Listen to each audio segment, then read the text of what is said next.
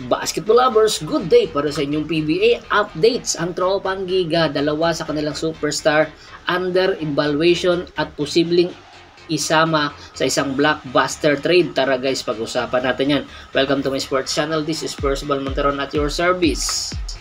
Sa hindi pa po nakakapag-subscribe, mag-subscribe na po kayo at huwag kalimutan i-click ang notification bell button para nga maging updated palagi sa kwentuhan. At bago nga natin umpisa ng kwentuhan, Shoutout muna tayo sa ating mga followers at subscribers kay Sir Joshua Giray, sa Giray family, Espejo family, Rosales family ng Tondo, Manila, June, Africa, Freddy Aliejo ng Malolos, Bulacan, Katsakino Dukusin ng Hagonoy, Bulacan, Carl Ray Carlo, Ryan Pangilinan, Michael Pangilinan ng Apalit, Pampanga, Ricky Lanza ng Ricky Rider TV ng Tansa, Cavite, Dennis Lagdaan at si Mr. Julius Roche. Marami pong salamat sa walang sawa niyong pagsuporta.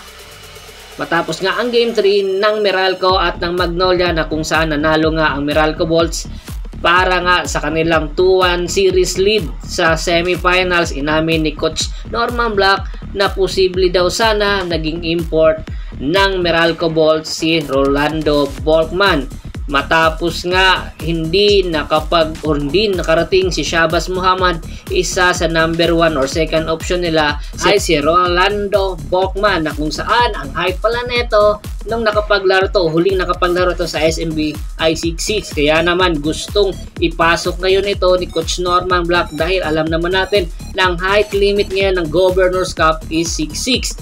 Kanya lang ayon sa PB Commissioner's Office hindi na daw pwedeng i-rehype si Rolando Volkman bagkos maghanap na lang or naghanap na lang ng ibang import ang Meralco Balls at ito nga sa katauhan ni Tony Bishop.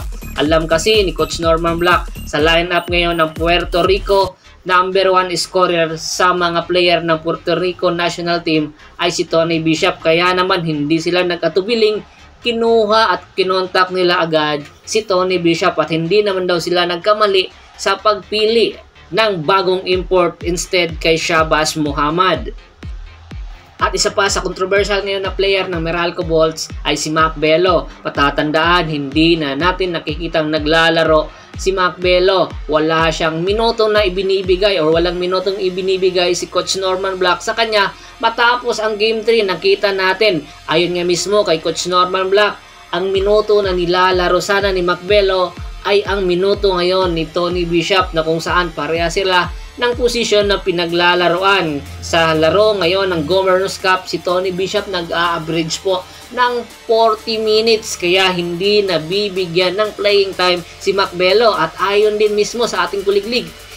Ayon mismo, hindi daw posibleng bitawan na ito pagkatapos ng stint sa Governor's Cup ng Meralco si Macbelo at posible ipadala ito sa tropang giga at inaasahan isasama ito sa package para sa isang blockbuster trade. Alam naman kasi ni Coach Norman at ng Meralco Management na si Macbelo ay prone injury kaya naman hindi sila magdadalawang isip na ibigay ang nasabing player sa ibang team especially sa tropang giga.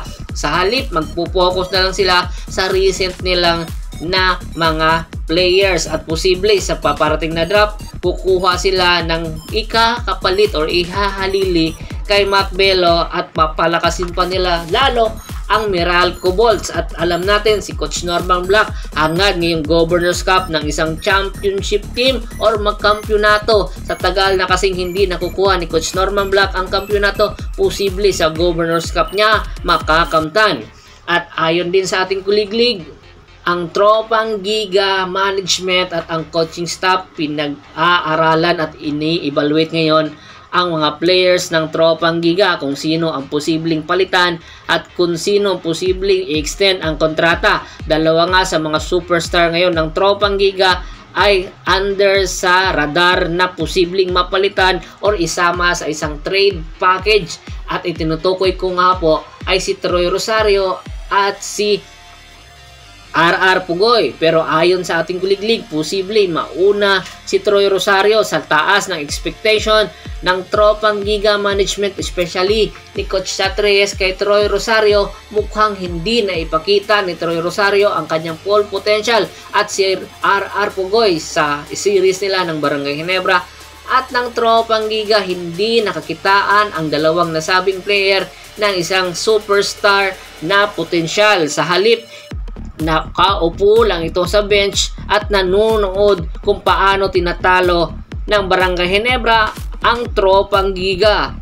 Kaya naman hangad ngayon ng Tropang Giga ang isang pagbabalik sa All Filipino Cup at target nga ng Tropang Giga si CG Perez, posible daw si CG Perez at si Troy Rosario ang magpalitan para sa isang blockbuster trade. Ang dalawang nasabing player, win-win situation sa bawat koponan kasi naman si Troy Rosario kung mapupunta ito sa SMB, napakalaking tulong nito kay Junmar Pajardo. Magkakaroon sila ng isang 4 and 3 position na athletic at wingman na bigatin samantala si CJ Perez naman mapupunta sa tropang giga magkakaroon ng backcourt tandem si Mikey Williams at CJ Perez na kung saan isa sa pinakamabigat na blockbuster or backcourt tandem ngayon kung sakaling matuloy ang nasabing trade transaction. Dahil nga si CJ Perez kahalintulad kay Troy Rosario hindi nagamit sa playoffs para naman Papalakasan na ang SMB. Sa halip, nagkamali daw yata ang SMB sa pagkuha kay CJ Perez at ngayon pinaplano na ng dalawang magbigating team ang nasabing trade transaction. Posibleng matuloy, posibleng hindi. Nasa sa kanila na kung anong development ang nasabing trade transaction. Baka posibleng magdagdag ng player para matuloy ang nasabing backbuster trade. Kaya abangan natin yan sa mga susunod na araw. Matapos nga ang Governor's Cup tiyak, lilinaw na ang nasabing trade transaction between Tropang Giga at SMB. Dahil nga sa tagal na ng panahon wala silang trade transaction, posible ito ang pinakamalaking trade transaction sa paparating na All Filipino Cup. Kaya malaking pakinabang ang bawat kuponan or bawat player sa bawat kuponan. Kaya bago pa sila magdesisyon, aabangan natin ang nasabing trade transaction. Once again, this is Percival Monteron at your service. Don't forget to subscribe my sports channel at don't forget to click the notification bell button para nga maging updated palagi sa kwentuhan. Hanggang sa muling kwentuhan, maraming maraming salamat po.